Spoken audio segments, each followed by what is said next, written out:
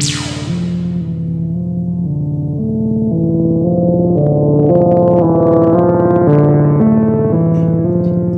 các bạn, các bạn biết đó Sài Gòn tiếp tục giãn cách xã hội để chống dịch. Mình không thể ra ngoài để làm phim được, vì vậy xin được mang phép đổi đề tài, đó là đọc truyện cho các bạn nghe. Truyện hôm nay mình đọc có tựa là Chinh phục tử thần. Đặc biệt truyện là do chính bạn Tuyết Ngân viết. Mời các bạn cùng nghe nhé. Chúc các bạn luôn khỏe mạnh, hạnh phúc trong cuộc sống.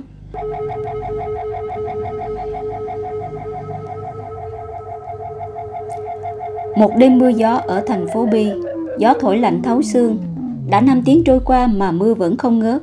Ở phía Bắc có bão cấp 3 ập đến nên thành phố Bi ở phía Nam cũng ảnh hưởng ít nhiều. Triệu Uyển Nhi của mình trong chiếc chăn mỏng trên gác xếp thân yêu của cô. Gió lùa vào các khe hở của vách tường khiến cô bất giác co người lại. Uyển Nhi lên cơn sốt cao. Trong cái lạnh của ngày mưa gió nhưng cơ thể cô lại không ngừng toát mồ hôi. Hôm nay quả thật rất mệt mỏi. Buổi sáng phải dậy sớm đi làm, chạy vắt giò lên cổ vì sợ trễ xe buýt. Buổi trưa thì vùi đầu vào núi công việc, văn phòng nhàm chán, chẳng có thời gian chợp mắt. Buổi chiều càng khổ sở vì phải tăng ca với cái bụng rỗng. Trời lờ mờ tối mới về lại, còn mắc mưa. Phải chăng cô đã quá lao lực? Cô, một sinh viên mới ra trường làm chức kế toán quèn với đồng lương ít ỏi chỉ đủ nuôi sống bản thân. Nhưng Uyển Nhi là niềm tự hào của cha mẹ già ở quê. Họ trông cậy vào cô, cô không thể bệnh, nói đúng hơn là không được phép bệnh. Càng về đêm mưa lại càng lớn, sấm sét xuống nhân gian tựa hồ rạch đôi bầu trời, thật khiến người khác giật mình lo lắng. Ừm, Uyển Nhi rên nhẹ một tiếng, người cô nóng đến mức muốn thiêu đốt các nội tạng. Bóng tối dày đặc bao phủ trước tầm mắt. Cô đang đứng trong một khoảng không vô định, chẳng biết đâu là lối thoát. Có cảm giác như tiến một bước hay lùi một bước thì ngay lập tức rơi xuống vực thẳm không đáy. Uyển Nhi quyết định đứng bất động, nheo mắt nhìn xung quanh.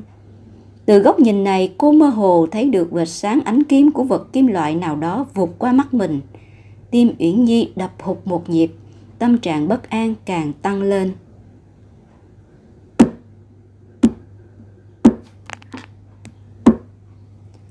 Cô nghe thấy tiếng bước chân trầm ổn trên mặt đất. Càng ngày càng gần, có người đang tiến về phía cô. Ai thế? Uyển Nhi không thể nhìn thấy gương mặt hắn. Cái cô cảm nhận được là một chiếc bóng cao lớn hơi gầy đang đứng đối diện mình. Luồng khí lạnh từ cơ thể đối phương tỏa ra khiến Uyển Nhi bất giác rùng mình. Cả hai im lặng hồi lâu. Hắn đang dùng đôi mắt lạnh lẽo nhìn cô chầm chầm. Xin chào, ta đến rồi. Hắn lên tiếng phá tan sự im lặng, hơi thở sặc mùi chết chóc. Anh là... Ta sẽ dùng lưỡi hái tử thần này để cướp đi mạng sống ngươi. Lời thốt ra vô cùng tàn nhẫn. Triệu Yến Nhi nhìn hắn, nửa tin, nửa ngờ. Tôi sẽ chết sao? Phải, nhanh thôi. Giọng nói hắn trầm trầm vang lên như một điềm báo. Đúng lúc này, sấm sét bên ngoài cửa sổ hắt lên một nửa gương mặt hắn. Nụ cười quỷ dị trên môi càng đậm.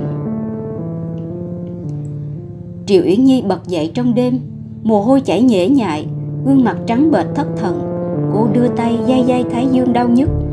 Chỉ mới một giờ sáng, Uyển Nhi bật đèn uống viên thuốc hạ sốt rồi quay lại giường co người, cố gắng ngủ tiếp. 6 giờ sáng hôm sau, ánh nắng ấm áp bao trùm thành phố Bi. Sau đêm mưa bão, cuối cùng bình minh cũng đến. Uyển Nhi sách giỏ đi làm. Tuy đã hết sốt nhưng cơ thể cô vẫn rất mệt mỏi. Cô đón chuyến xe buýt số 2 đến công ty Nhật Hoàng. Triệu Uyển Nhi lê bước chân nặng nề lên xe. Chào bác, cô cúi đầu chào người tài xế lớn tuổi. Hôm nay trông cháu sao xuống sắc quá. Bác tài xế hỏi han. Dạ không sao, chỉ cảm nhẹ thôi ạ. À. Cô vẫn giữ nét tươi cười nói. Uyển Nhi ngủ gật trên xe buýt, đầu tựa vào cửa kính không ngừng gật gù theo chuyển động của xe. Đột nhiên xe dừng lại, một chàng trai có thân hình cao lớn nhưng hơi gầy thông thả bước lên. Hắn nhìn quanh rồi tiến đến chiếc ghế còn trống bên cạnh Uyển Nhi, ngồi xuống. Được một lúc cô cảm thấy lành lạnh nên lấy áo khoác mặc vào. Anh có lạnh không? Cô vô tình chạm vào cánh tay chàng trai kế bên tay hắn lạnh buốt khiến cô có chút giật mình. Chàng trai vẫn trầm mặc không trả lời. Uyển nhi quan sát gương mặt hắn, sống mũi cao, ngũ quan cân đối, đôi mắt đen lấy nhìn về hướng vô định, rất đẹp, nhưng lại không có hồn. Hắn ta giống như một bức tượng điêu khắc tuyệt mỹ của người thợ lành nghề. Xin lỗi đã làm phiền. Thấy chàng trai kỳ lạ không trả lời, triệu uyển nhi cũng không thèm quan tâm đến hắn nữa không khí trên xe trở nên tĩnh lặng. Chỉ còn nghe thấy tiếng còi xe cộ, tiếng bánh xe ma sát với mặt đường. Đến trạm dừng, uyển nhi bước xuống xe, đi bộ một đoạn đến nơi làm việc. Chào mọi người, cô tươi cười chào các đồng nghiệp. Chào, em bị bệnh à sao trông mệt mỏi thế? Anh chàng trưởng phòng điển trai dương trác ân cần hỏi thăm. Phải đó, em uống thuốc chưa nè? Một người khác tiếp lời dạ em đỡ nhiều rồi, cảm ơn các anh. Uyển nhi mỉm cười, quay về bàn làm việc. Cánh cửa văn phòng được đẩy ra, một chàng trai tuấn tú bước vào. Uyển nhi dụi mắt, cô có nhìn nhầm không? Đó chính là người kỳ lạ trên xe buýt sáng nay. Gương mặt trầm tĩnh đó, không thể sai được. Nhưng khi nãy rõ ràng chỉ có mình cô xuống xe thôi mà. Trong văn phòng không ai để ý đến hắn mọi người cứ cắm cúi công việc của mình như không có chuyện gì xảy ra. Hắn ta nhìn quanh, rồi nhanh chóng sải bước dài đến bàn còn trống bên cạnh uyển nhi. Luồng khí lạnh lướt qua người cô, khiến cô dừng tóc gáy. Từ ngày mai, cô phải làm việc với hắn sao? Anh tên gì? Là một người vui vẻ và hoạt bát. Uyển nhi đương nhiên phải làm quen với đồng nghiệp mới này. Diệt an phàm hắn im lặng hồi lâu rồi trả lời ngắn gọn. À an phàm, sáng nay chúng ta vừa gặp nhau trên xe buýt đó, anh nhớ không? Chỉ mới gặp sáng nay thôi à.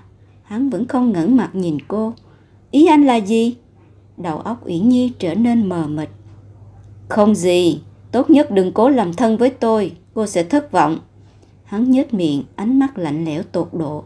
Uyển nhi vô thức lùi về phía sau, tạo khoảng cách với hắn trong trí nhớ mơ hồ của cô vụt qua hình ảnh người đàn ông với nụ cười quỷ dị tối qua.